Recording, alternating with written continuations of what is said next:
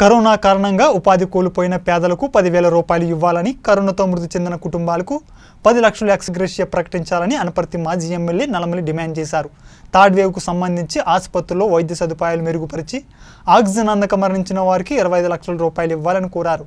జర్నలిస్టులను frontline వారియర్స్గా కేంద్ర ప్రభుత్వం అనేక రాష్ట్రాలు గుర్తించాయని అదేవిధంగా రాష్ట్ర ప్రభుత్వం కూడా జర్నలిస్టులను ఫ్రంట్లైన్ వారియర్స్గా గుర్తించాలన్నారు. అందువల్ల కరోనా వల్ల మరణించిన జర్నలిస్టుల కుటుంబాలకు యాభై లక్షల రూపాయల పరిహారం చెల్లించాలని ప్రభుత్వాన్ని కోరుతూ రాంగంపేట తహసీల్దార్కి వినతి పత్రం అందించారు.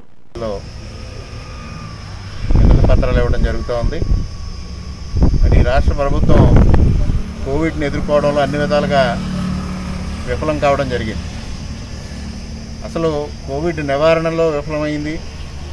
కోవిడ్ వచ్చిన తర్వాత రోగులకి వైద్యం అందించడంలో కానీ ఆక్సిజన్ అందించడంలో కానీ మందులు సరఫరాలో కానీ వ్యాక్సినేషన్లో కానీ టోటల్గా ఫెయిల్ అయింది.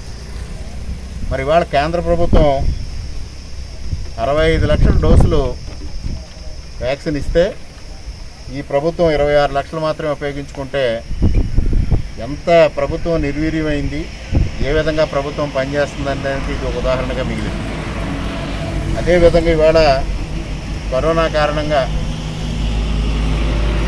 పనులేని కూలీలకి అనేక రాష్ట్రాల్లో పెద్ద ఎత్తున ప్యాకేజీలు ఇచ్చి వారిని ఆదుకోవడం జరుగుతూ ఉంది.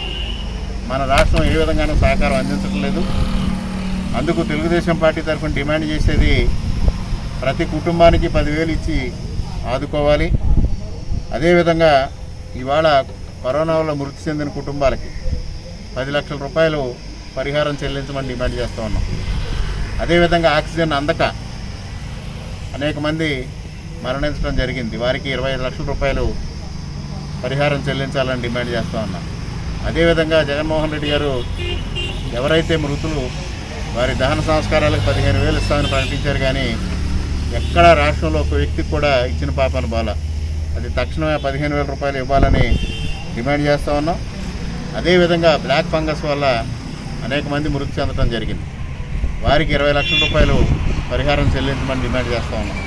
అదేవిధంగా ప్రభుత్వ ఆసుపత్రుల్లో కోవిడ్కి కానీ బ్లాక్ ఫంగస్కి కానీ వైద్య సదుపాయాలు మెరుగుపరచమని డిమాండ్ చేస్తూ ఉన్నాం. అన్నిటికన్నా ప్రధానమైంది ఇవాళ కేంద్ర ప్రభుత్వం కానీ అనేక రాష్ట్ర ప్రభుత్వాలు కానీ జర్నలిస్టులని ఫ్రంట్ లైన్ వారియర్స్గా గుర్తించారు కానీ మన రాష్ట్ర ప్రభుత్వం ఏ విధంగానూ వారిని గుర్తించలేదు.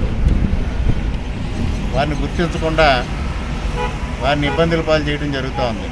ఇవాళ తెలుగుదేశం పార్టీ తరఫున డిమాండ్ చేసేది జర్నలిస్టులు ఫ్రంట్ లైన్ వారియర్స్గా గుర్తించి ఎవరైతే కోవిడ్ వల్ల చనిపోయిన జర్నలిస్టులు ఉన్నారో వారికి యాభై లక్షల రూపాయల పరిహారం ఇవ్వమని డిమాండ్ చేస్తూ ఉన్నాం. ఈ విధంగా తెలుగుదేశం పార్టీ తరఫున వారం రోజుల పాటు ఇది నిరసన కార్యక్రమాలు చేపట్టాలని నిర్ణయించడం జరిగింది. దానిలో భాగంగా ఈరోజు ఇక్కడ కార్యక్రమం చేయడం జరిగింది. మరి ఇక రంగంపేట మండలానికి సంబంధించి మరో ముఖ్య విషయం. గత వారం పది రోజులుగా మీరు కొంచెం అనుకుండి చెయ్యి ముందుకు పెట్టండి. చెయ్యి చాపండి. రంగంపేట మండలం వెంకటాపురం గ్రామంలో నూట తొంభై ఆరు బై ఏడులో అక్రమ మైనింగ్ జరుగుతూ ఉంది.